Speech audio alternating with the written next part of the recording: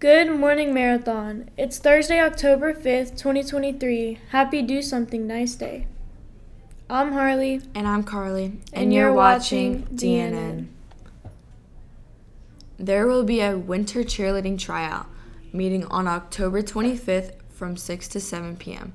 The meeting is mandatory for new cheerleaders interested in basketball cheer. Returning cheerleaders are free to attend but not required.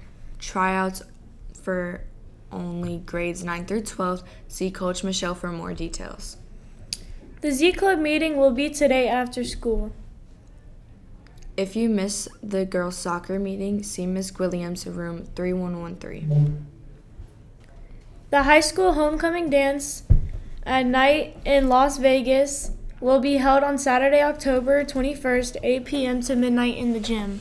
All students must enter by 9. If you plan to bring a date that does not attend MHS, you must see Dr. Bellotti for a waiver.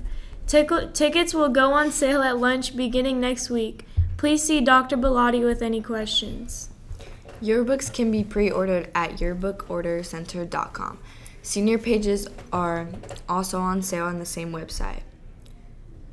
You can literally be a lifesaver at MHS. The Student Government Association will be hosting a blood drive on Thursday. Students 16 and older are eligible to donate with parent permission. See Dr. Bellotti for the paperwork and details. That's all the news we have for you today, Fins. I'm Harlie. And I'm Karlie. And, you're, watching DNN.